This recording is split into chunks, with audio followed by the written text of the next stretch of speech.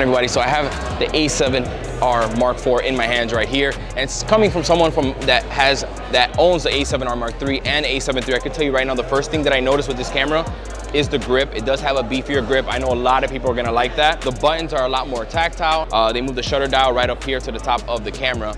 Now, for photographers, you're gonna get a lot more resolution. You're getting 61 megapixels. It has 10 frames per second, so just like the A7R III, and it could shoot up to 68 photos in a burst, which is pretty impressive.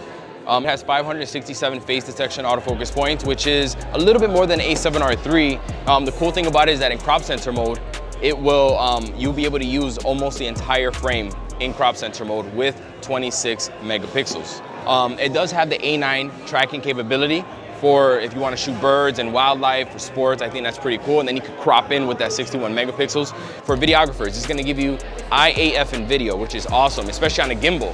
You get to track the eye, which is amazing. I'm going to be shooting with this camera for the next couple of days, so stay tuned for more.